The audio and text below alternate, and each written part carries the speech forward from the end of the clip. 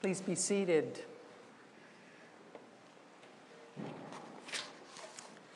And what a pleasure it is to be here on this occasion, the occasion of many confirmations, and to see all of your faces here in this, this really wonderful space. They left their nets immediately, left their boat, left their father, left their community immediately, and followed him. So says our passage from Matthew. There are moments in our lives when something crystallizes and we take immediate action. A college student, after years of preparation for one vocation, realizes in a flash that she wants to do something entirely different with her life. May have happened to you. A man, after years of dating a woman, realizes in a moment that he's ready to pop the question. A person with an addiction, after years of suffering, sometimes known to people, sometimes unknown to people, realizes all at once that it's time to get help. There are moments in our lives when something crystallizes and we take immediate action. But in all of the examples I just mentioned, I at least hinted or said directly something that was leading up to that moment of crystallization and action something prepares the way, whether that's a kind of long experience, a time of reflection, or some powerful feeling. Something leads up to this immediately taking a new direction. Which is, of course, why it's befuddling and challenging to hear the story of the call of Peter and Andrew and James and John in our gospel for today, in Matthew's account. For their moment of crystallization and immediate action seems to come seems to come with no preparation whatsoever and the immediate action they take seems to mean that they abandon everything else jobs family. Remember it says he left his they left their father their family and their communities in the process so without any warning jesus says follow me and off they go is this what following Jesus is all about for us? Is it about a sudden redirection and a sudden abandonment of everyone and everything we've known? To get at this question, I think it's important first to just understand a little more about two things. One, what it was like to be a fisherman in these days, then what it was like to be a disciple. These might help us understand a little better what's going on. First, what was the life of a fisherman all about? Now, we've seen all the movies, haven't we? we've seen depictions of this in the various biblical movies, uh, and, and they're not, not far off, actually. For this, of course, was the job that Pete, in this story that Peter and Andrew and James and John were leaving, were putting behind them. This was the job they decided to let go of in response to Jesus' invitation to follow him. So, what we know about fishermen in ancient times, some of what we know is this fishermen might have had some money, some economic resources, but their social position in the grand scheme of things was very low. It was about as low as shepherds. Some writers of the time, in fact, ranked fishermen as they kind of went through the social order. Fishermen were at the very bottom of that social order meaning that at the time they would have been regarded by others as ne'er do wells. You know, they couldn't do anything else, as ruffians because of the kind of life they led, and in some cases as thieves. They were not to be trusted, just like shepherds. Shepherds were spoken of the same way. But in addition to this, and this is a really important point, fishermen were people whom the rich or whom the richer often took advantage of.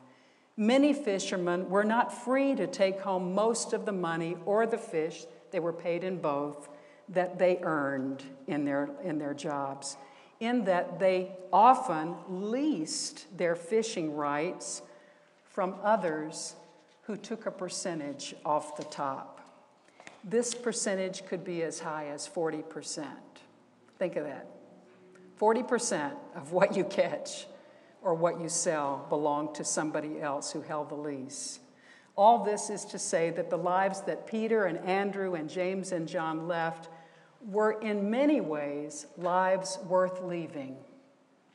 Lives worth leaving. I don't know if you've ever had a time where you were at the bottom, you were in a job that was the bottom of the social ladder. I cleaned rooms for a while as a young woman.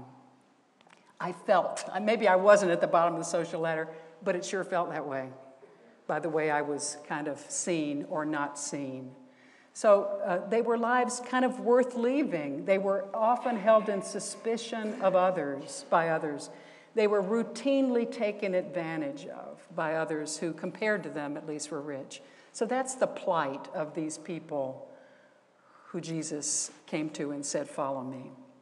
So if this is the plight of Peter and Andrew and James and John, the thing they were leaving behind what was the life they were saying yes to in becoming disciples and followers of Jesus? Or what can we learn about that? In that they would have regarded Jesus as a teacher, as a rabbi, one of the many rabbis of the times at this point in the narrative.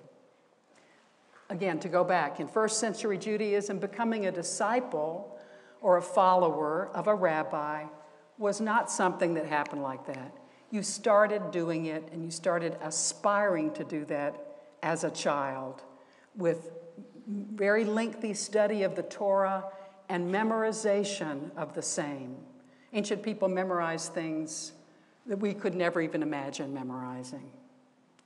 This study then went on for years into adolescence and into young adulthood and into adulthood, culminating in a period of intense questioning and testing by the rabbi himself, after which the person would either be rejected by the rabbi or would be greeted with the rabbi finally saying the words that Jesus says to this group the rabbi saying, Follow me, but only after the person proved they were worthy. It was then and only then that the follower would be admitted to the circle of people who were called the rabbi's disciples, who embraced the rabbi's teachings and who attempted to live as the rabbi lived.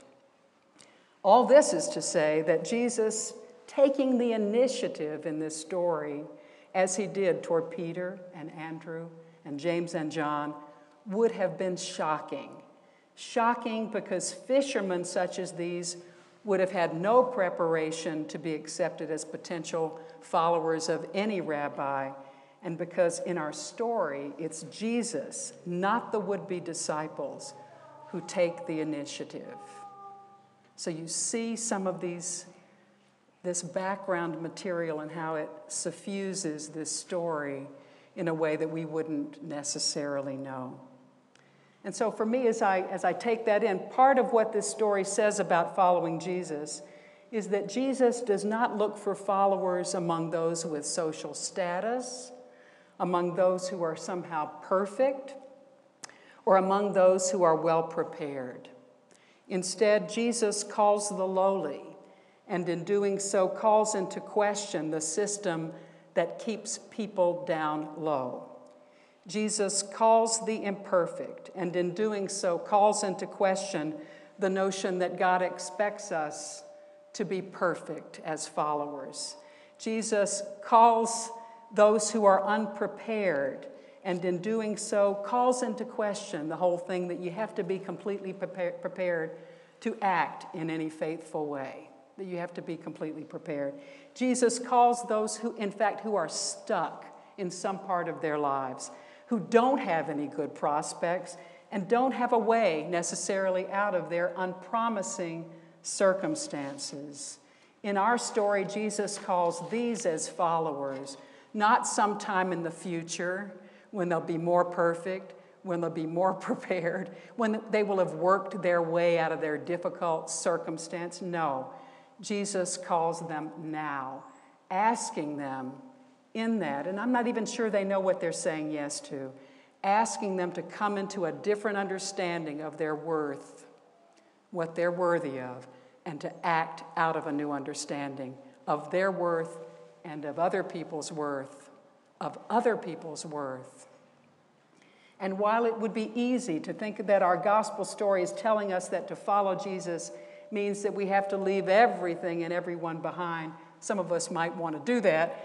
I believe the deeper message of the story for us is this we do not have to leave home and family and job and community behind to follow Jesus. We have to live in that home, live with that family in many cases, function in that job, and be in that community with a new self understanding of our worth and with a new appreciation for the worth of others. Not always easy.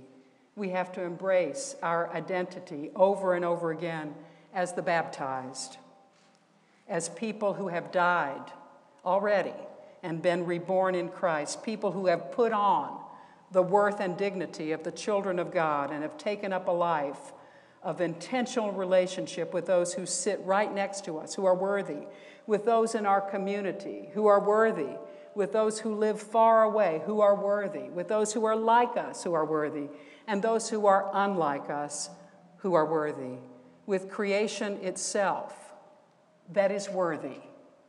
Creation is worthy. We have to put on the dignity and worth of the children of God and extend the same respect and dignity to the whole of creation.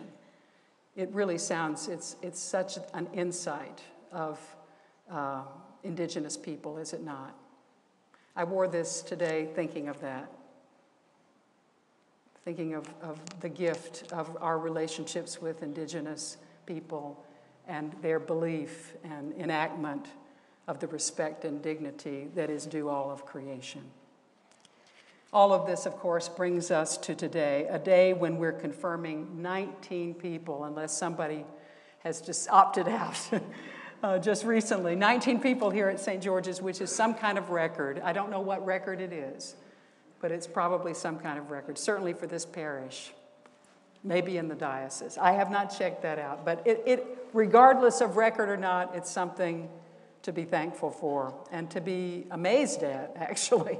Our confirmands today are not presenting themselves, they better not be presenting themselves as perfect or as completely prepared or anything like that. After the confirmation, they're not intending, I don't think, to abandon their homes, their families, their jobs, or their communities. Some people do receive a call that way, not, not most of us. Rather, as they affirm their baptismal vows, and they will in this liturgy, they're committing to doing their best to live the life they have already been living with a renewed self understanding of their dignity and worth and a renewed intention to extend that in some way to others, to treat others, as our covenant says, with respect and dignity, to work for justice and peace, to be good news rather than bad news in their lives, to protect the earth to support each other in their life together. So, David was telling me about our front lines over there, where people have placed where they are on a Monday after they leave here on a Sunday, where, where they, their front lines of their Christian faith are. So, uh, our, our confirmation candidates are saying that's what we're going to take to those places. And, this, and the, some of the support we'll have are your life groups that help you reflect more on the way in which Sunday infuses what you do on Monday. But of course, our confirmands don't have to do this alone. For all of us are participating in this confirmation. All of us have a chance to recommit ourselves to following Jesus by kind of taking a page out of Peter and Andrew and James and John's book imaginatively we have a chance to imagine ourselves in the middle of some of the things we do all the time, Monday through Sunday. Imagine ourselves at work. Imagine ourselves parenting or being a spouse or a friend. Imagine ourselves in the community. We have the chance to imagine what we're in the middle of in any of those things when all at once the Lord of life surprises us and invites us, takes the initiative, invites us to follow him right then and there. We have a chance to imagine the difference it might mean to us to say yes to that invitation and to make our way in a different way, in the way in the roles we already have. in the way we parent or act as a spouse or a friend, in the way we live or move in the community, in the way we work. Today, know this the Lord of life is here and is calling us all, not just the confirmands, not just the children, not just the clergy. Today, know this the Lord of life is here and is calling us all. We do not need to be perfect. You do not need to be perfect. We do not need to be more prepared. We do not even need to be socially acceptable. All we need to be is hungry for a world of greater respect and dignity and willing to do our part as the baptized to bring that world into being, all with God's help. So let today be the day that something crystallizes for you, that you're given a new self understanding of your dignity and worth, and that you're inspired to bring that very spirit to the world. Let today be a new day in which you choose, not even knowing what it means, to follow him.